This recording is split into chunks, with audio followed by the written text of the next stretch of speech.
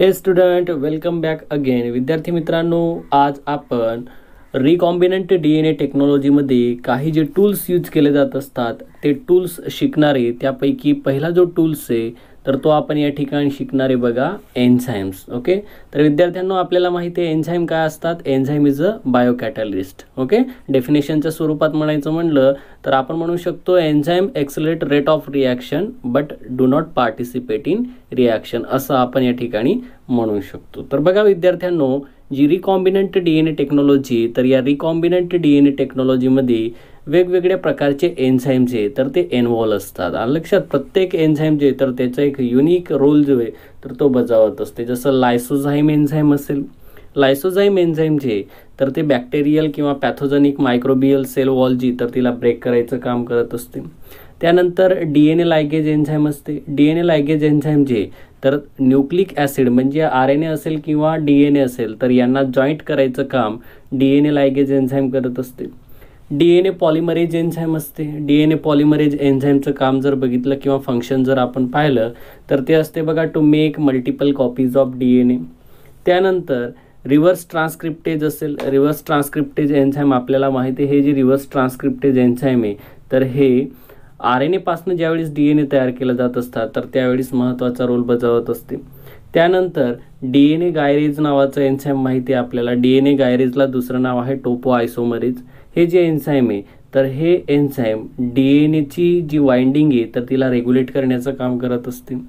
त्यानंतर मिथिलेज नावाचं एक एन्झाईम असते. हे मिथिलेज नावाचं एन्झाईम जे तर हे एन्झाईम स्वतःचा डी एन ए ब्रेक होऊ नये किंवा स्वतःच्या डी एन एला प्रोटेक्ट करायचं काम हे मिथिलेज नावाचं एन्झाईम करत असते. कारण एन्झाईम हे बायोकॅटलिस्ट असतात. ते त्या ठिकाणी विशिष्ट प्रकारचे डी एन ए किंवा जेनेटिक मटेरियल जे तर त्याला ब्रेक करू शकतात. ओके तर अजून एक एन्झाईम दिलेलं आहे तुम्हाला बघा अल्कलाईन फॉस्फेटेज आपल्या ब्लड स्ट्रीममध्ये प्रेझेंट असते. म्हणजे आपला जो रक्तप्रवाह आहे त्याच्यामध्ये प्रेझेंट असते. आणि जे वेगवेगळे प्रकारचे प्रोटीन मॉलिक्युल्स आहेत तर त्यांना ब्रेक करायचं काम हे अल्कलाईन फॉस्फेटेज नावाचा एन्झाईम करत असते. तर विद्यार्थ्यांनो हे होते या ठिकाणी विशिष्ट प्रकारचे एन्झाईम आणि त्यांचे रोल ओके आपल्याला या ठिकाणी शिकायचं आहे बघा रेस्ट्रिक्शन एन्डोन्युक्लिज नावाचं एन्झाईम शिकायचं. ओके महत्त्वाचं एन्झाईम आहे.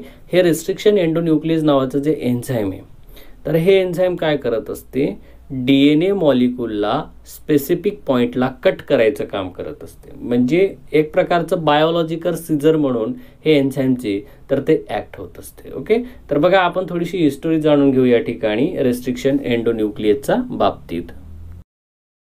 विद्यार्थ्यांनो एकोणीसशे सत्तरमध्ये काही जे सायंटिस्ट होते तर त्या सायंटिस्टनं हे जे रेस्ट्रिक्शन एन्डोन्युक्लियस नावाचं जे एन्झाईम आहे तर हे डिस्कवर केलेले. तर बघा रेस्ट्रिक्शन एन्डोन्यूक्लियस जी किंवा एन्डोन्यूक्लियस हा जो ग्रुप आहे तर याचा मेजर ग्रुप येत असतो बघा न्यूक्लियज म्हणजेच काय म्हणणार आपण? न्यूक्लिएज नावाचं जे एन्झाईम आहे तर या न्यूक्लियज नावाचा एन्झाईममध्ये दोन प्रकारचे एन्झाईम असतात. एक असते एन्डोन्यूक्लियस दुसरं असते एक्झोन्यूक्लियस एन्डोन्यूक्लियस जो आहे तर तो डी एन एला एन्डोन्यूक्लियस जो आहे तर तो डी एन एला त्याच्या स्टँडमध्ये कट करत असतो किंवा सेगमेंटमध्ये कट करणारे. म्हणजे मध्ये हा समजा फॉर एक्झाम्पल हा डी एन एचा स्टँड आहे आणि या डी एन एच्या स्टँडमध्ये किंवा सिक्वेन्समध्ये कुठेही कट करू शकतो मध्ये. आलं लक्षात? त्यासाठी कोणतं एन्झाईम यूज केलं जात असते?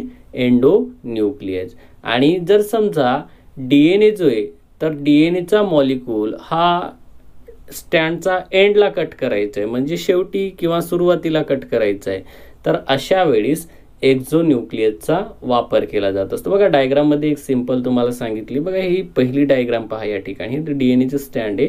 आणि या डी एन एच्या स्टँडला आपण काय केलेले सेगमेंटच्या दरम्यान कट केले किंवा सिक्वेन्सच्या दरम्यान कट केले लक्षात. Cut between segment this is called as endonuclease enzyme आणि हा जो या ठिकाणी आपण शो केला आहे तर हे डी एन एचं स्टँड आहे. दोघं साईडला जी एंड साईट आहे तिथं आपण कट केले म्हणून या ठिकाणी कोणतं एन्झाईम यूज केलं जाणार आहे?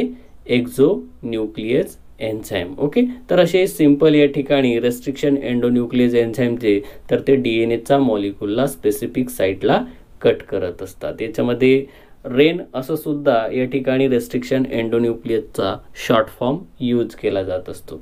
ओके? विद्यार्थ्यांनो बघा हा जो रेस्ट्रिक्शन एंडोन्यूक्लियस एन्झाईम आहे तर हा रेस्ट्रिक्शन एंडोन्यूक्लियस एक प्रकारचा मॉलिक्युलर सिजर आहे. जो डी एन एच्या सेगमेंटला स्पेसिफिक सिक्वेन्स जो आहे तर त्या ठिकाणी कट करणार. आहे ज्यावेळीस हा रेस्ट्रिक्शन एंडोन्यूक्लियस डी एन एचा सिक्वेन्स कट करणार त्याच्या अगोदर तो काय करणार आहे? तो सिक्वेन्स रिकग्नाईज करणार त्या सिक्वेन्सला ओळखणार. सिक्वेन्स ज्या ठिकाणी डी एन एला कट करायचे तर त्या साईटला म्हणतात रिकग्नायझेशन साईट ज्या ठिकाणी डी एन एला कट करायचं आहे त्या साईटला काय म्हणतात? रिकग्नायझेशन साईट लक्षात? म्हणून बघा the the sequence recognize by restriction endonuclease are four to eight nucleotide ज्या ठिकाणी बघा डी एन एचा सिक्वेन्स रिकग्नाइज केला जाणार आहे त्या ठिकाणी चार ते आठ न्यूक्लिओटाईड असणार. आहे आणि विशेष म्हणजे हा जो न्यूक्लिओटाईड आहे याच्यामध्ये सिमिलरिटी असणारी सिमेट्री असणारी साम्यता असणारी पर्टिक्युलर टाईपची साम्यता असणारी बॅकवर्डली किंवा फॉरवर्डली लक्षात? म्हणून बघा when one read the sequence in opposite direction 5 prime to 3 prime or 3 prime to 5 prime it is identical or same a sequence with this type of symmetry is called as palindrome बघा या ठिकाणी काय सांगितलंय की recognisation sequence जो आहे ज्या ठिकाणी रिकग्नाइज सिक्वेन्स आहे तर त्या ठिकाणी काय होणार आहे फॉरवर्डली जरी रीड केला तरी त्याची सिक्वेन्स सेम येणार आणि बॅकवर्डली रीड जरी केला तरी त्याची सिक्वेन्स सेम येणार. त्याला म्हणत असतात पॅलिंड्रॉम ओके एका मार्कासाठी एक्झाममध्ये विचारलं जाऊ शकतो. ओके आता बघा ज्यावेळेस रेस्ट्रिक्शन एन्डोन्युक्लिअर डी एन एला कट करणार स्मॉल फ्रेगमेंटमध्ये अशा वेळेस त्याचे दोन प्रकारचे एंड्स तयार होत असतात. एक असतो स्टिकी एंड दुसरा असतो ब्लंट एंड ओके तर स्टिकी एंडच्या बाबतीत जर म्हणलो आपण तर स्टिकी एंडमध्ये डी एन ए जो आहे तर तो अनइक्वली कटिंग होत असतो. आणि ब्लंट एंडमध्ये जर बघितलं आपण तर डी एन ए जो आहे तर तो दोघा साईडनं इक्वली कटिंग होत असतो. ओके दोघांमध्ये जे बेस सिक्वेन्स आहे फॉरवर्डली बॅकवर्डली सेम आहेत. फक्त या ठिकाणी काय होणार आहे बघा डायग्राममध्ये पाहू शकतात. हे एक एक्झाम्पल तुम्हाला या ठिकाणी दिलेले आहे स्टिकी एंडचं आणि हे जे एक्झाम्पल आहे हे काय आहे? ब्लंट एंडचं बघा स्टिकी एंडमध्ये तुम्हाला दिसतोय की ओव्हरहँगिंग पीस दिसतोय. एक एक्स्ट्रा त्या ठिकाणी lock and key model type तुम्हाला स्ट्रक्चर दिसते. पण इथं इक्वली डी एन ए जो आहे तर त्याचं कट झाल्यामुळे सिक्वेन्स आहे तर ते इक्वली त्या ठिकाणी फॉरवर्डली आणि बॅकवर्डली डिवाइड झाली. ओके लक्षात राहील ना? ठीक आहे. चला तर काही रिस्ट्रिक्शन एंडोन्यूक्लियस एन्झाईम जे तर त्यांना डिकोड केलेले आहेत आणि त्या डिकोड केलेल्या एन्झाईमच्या बाबतीत आपण या ठिकाणी शिकून घेणार आहे. तर बघा विद्यार्थ्यांनो एन्झाईम शिकण्याच्या अगोदर तुम्हाला एक छोटंसं एक्झाम्पल सांगतो आणि त्या एक्झाम्पलच्या बेसवरनं तुम्ही त्याचं नॉमेन क्लेचर जे तर ते आयडेंटिफाय करू शकता. ओके या ठिकाणी बघा एक एक्झाम्पल घेतलं आहे मी. इको आर फर्स्ट कोणतं एक्झाम्पल घेतलं आहे इको आर फर्स्ट याच्यामध्ये ई जो आहे कॅपिटल ई जो दिसतोय तुम्हाला तर तो जिनससाठी यूज केला जात असतो. याच्यामध्ये इचर्शिया जिनस आहे. त्याच्यानंतर सी ओ म्हणजे या ठिकाणी स्पेसिससाठी यूज केला जाणारा हा वर्ड आहे ज्याच्यामध्ये सी ओ म्हणजे कोल आहे त्याच्यानंतर आर जो आहे तर आर या ठिकाणी स्ट्रेन यूज केलेलं आहे.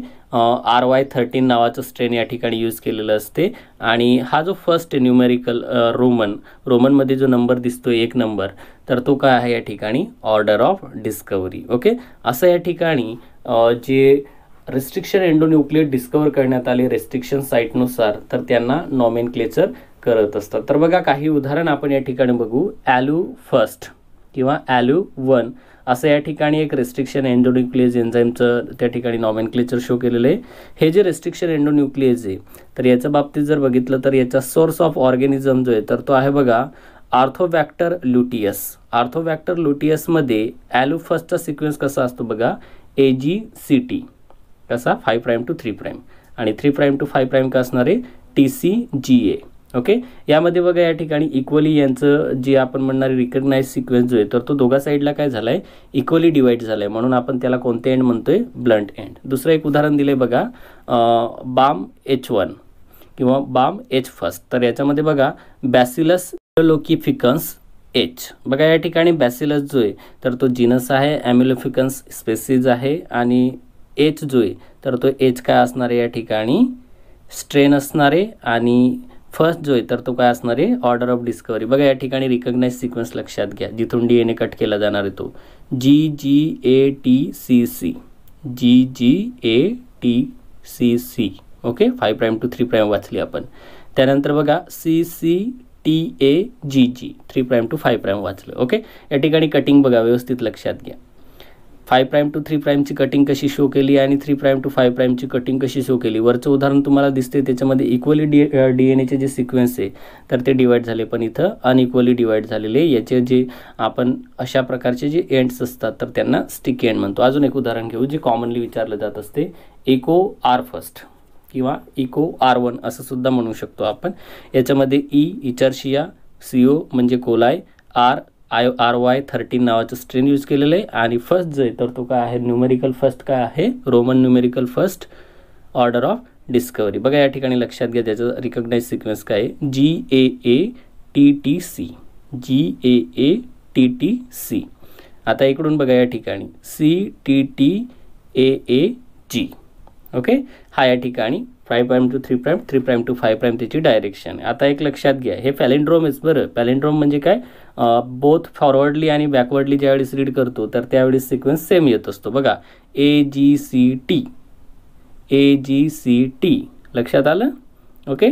प्रत्येकाचे जे न्यूक्लियोटाईड सिक्वेन्स आहे जो रिकग्नाइज साईट आहे तर तिच्यामध्ये फॉरवर्डली आणि बॅकवर्डली रीड केल्यानंतर सेम जर सिक्वेन्स येत असेल तर तो पॅलेंड्रोम असतो रिकग्नाइज साईट असते आणि याच्यामध्ये दोन प्रकारचे एंड असतात. ते एंड आपण या ठिकाणी पाहतोय. एक ब्लंट एंड ज्याच्यामध्ये इक्वली न्यूक्लियोटाईड डिवाइड होत असतात किंवा डी एन ए फ्रॅगमेंट्स किंवा सिक्वेन्स डिवाइड होत असतात.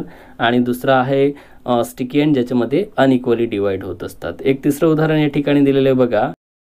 हिंद सेकंड याच्यामध्ये एज जो आहे तर तो हिमोफिलससाठी यूज केला जात असतो. आयन इन्फ्लुएन्झासाठी या ठिकाणी डी जो आहे तर तो आर डी स्ट्रेन यूज केलेला आहे आणि रोमन सेकंड जो आहे तर तो काय असणार आहे?